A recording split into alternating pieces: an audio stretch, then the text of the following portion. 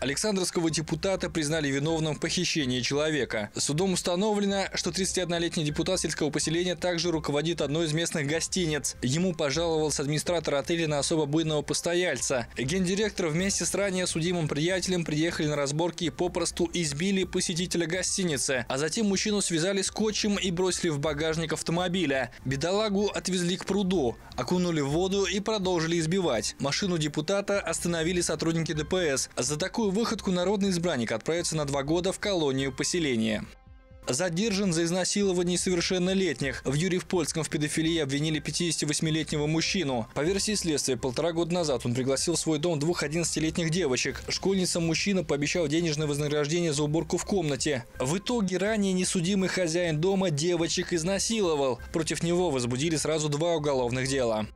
Мать с ребенком едва не задохнулись от дыма. Серьезный пожар произошел накануне вечером в многоквартирном доме на улице Осадкина. Первые спасатели прибыли на место уже через пару минут. К этому времени из окна третьего этажа вырывалось открытое пламя. Звено газдым-защитников отправилось на поиски пострадавших. В соседней с горящей квартирой они обнаружили женщину с 14-летним сыном. Их спасли. А всего же в тот вечер из здания эвакуировали 20 человек. Причина пожара выясняется.